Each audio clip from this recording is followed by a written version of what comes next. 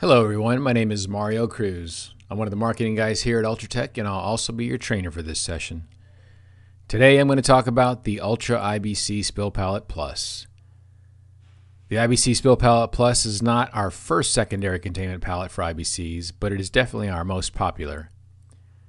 But before we get too far, let me address the basics.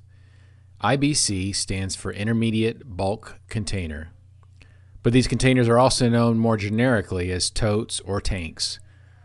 Whatever you call them, they need spill containment in order to meet the regulations. They range in size from around 250 gallons to over 400 gallons. Now, the Ultra IBC Spill Pallet Plus has a containment capacity of 365 gallons. So, if the IBC that you are trying to contain is larger than that, you'll need to look at something else. Fortunately, Ultratech has several options.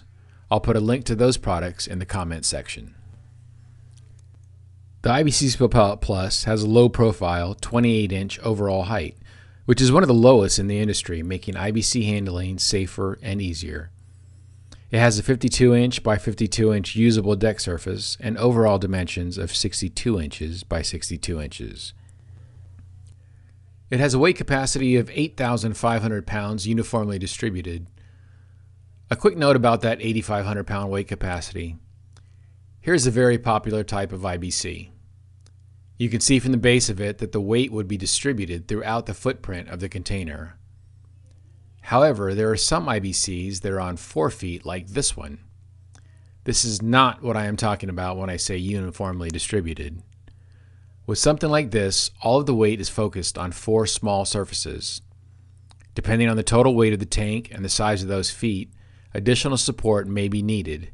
Usually a 12 inch by 12 inch steel plate under each foot works well. But call us if you have a heavier IBC on feet and we can let you know what may be needed. The weight of the IBCs is supported by four corner columns and one center column, as well as heavy duty 4 inch thick polyethylene grating. Now, since we've got this thing broken down, let me take this opportunity to talk a little about this pallet's innards.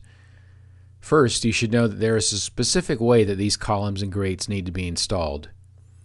The units come completely assembled and ready to go, but if, for some reason, they get all discombobulated,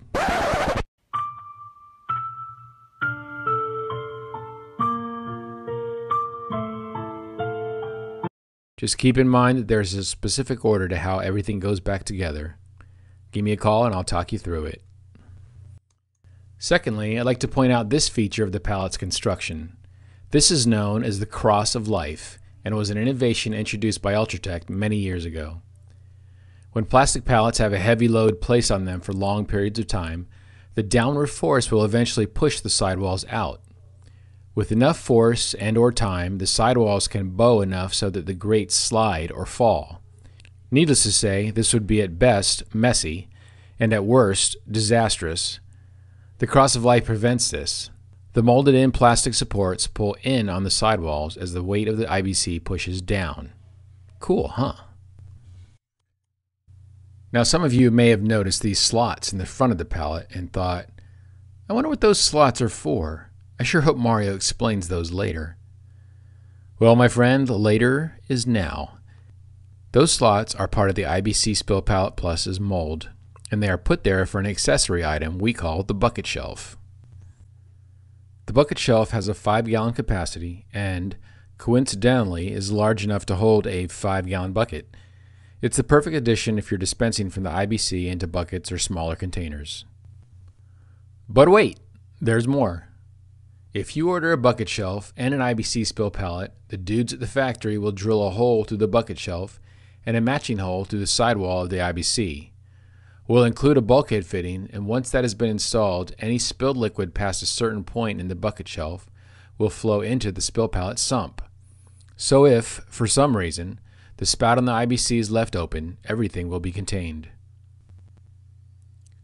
Now, if you decide after the fact, after you've purchased and received your IBC Spill Pallet Plus, that you want a bucket shelf, I'll be happy to sell you one, but it won't have the flow through option I just discussed.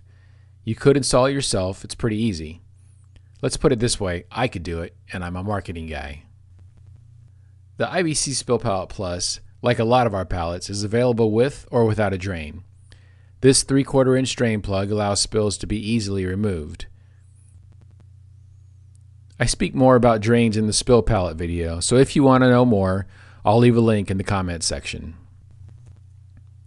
Like many of our spill containment pallets, the Ultra IBC Spill Pallet Plus is all polyethylene, which is beneficial in that it won't rust or corrode and has excellent chemical resistance. The IBC Spill Pallet Plus has forklift pockets in the front and back and can be moved with the forklift or pallet jack.